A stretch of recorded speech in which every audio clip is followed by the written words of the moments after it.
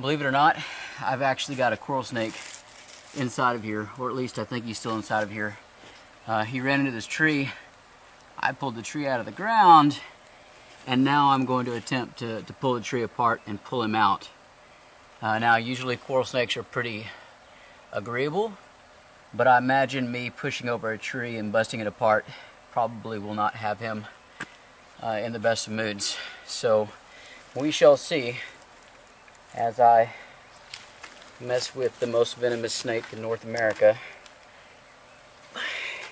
Assuming I can get this thing apart. Yep, there he is. There he is. See him hang right there? Alright, so he's got a pretty good little hidey hole. For sure. Let's see how he is. Alright, so we've managed to find our coral snake. And he looks like he's uh, pretty okay with me talking right now. He's kind of squeezed through some of these bore holes. And he might be a little stuck. We'll pull him out in just a moment. But as long as he's staying still, see if we can't get some good camera angles. Now you can see that characteristic yellow and red banding. And that marks him as the real deal. That is a coral snake, a Texas coral snake.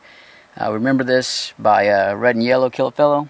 If the uh, bands are red and black, usually that means uh, venom lack or step back jack. It means that it's probably one of the uh, mimicking snakes. Your scarlet snake, a milk snake, some of the king snakes look similar to this. Uh, you can also remember it by thinking yellow, red, stop, kind of talking about the way the traffic lights go. So if the yellow and red are together, you're looking at something that's potentially going to hurt you.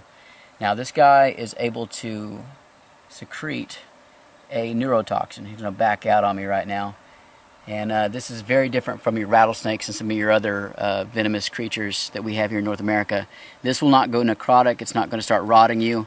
Uh, what it'll do is actually start shutting down your nervous system. And what that means is that uh, your body's going to stop reacting after a while. Uh, your muscles, you're going to exhibit some of the some of the same symptoms as a stroke patient. And eventually, within hours, uh, you might be at the point where uh, you stop breathing. So the idea is that you need to be able to get to a hospital very quickly, have massive amounts of antivenom pumped into you, and you might just have to go onto a respirator. So this is not really something you want to mess with. Uh, they're pretty nice. They're pretty agreeable. I just pulled him out of the stump, so I'm not really messing with him too much. I don't want to be on his bad side.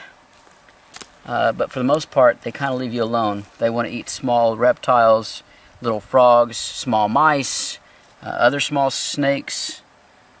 Uh, but we really don't have an issue. Uh, 15 to 20 bites in North America per year. No recorded fatalities here in North America in quite a while. Uh, but the issue that a lot of people get into is that they start to mess with them too much and they get agitated. And the other thing is that most people that mess with snakes think that they need to coil up. And when you see the rattlesnakes and your copperheads, that's uh, pretty normal, natural for them to do. With your coral snake, he's a different he's a different beast. He'll actually strike sideways and get you. So, ladies and gentlemen, that is your coral snake. North America's most venomous snake and a friend of our forests. So enjoy him out here. And go ahead and let him go. Be on his way. He's had enough of me. But like and subscribe. And as always, till next time.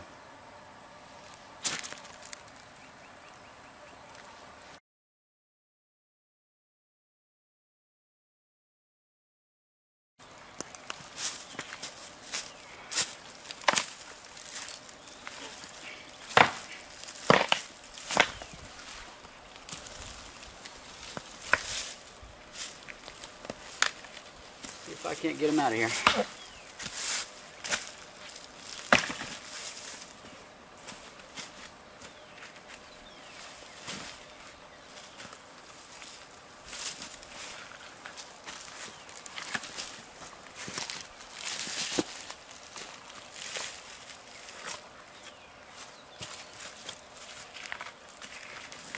Well, just chased a coral snake into this tree. And I'm guessing he's still inside of here. He's got himself a pretty good hidey hole. So, let's see if we can't get him out.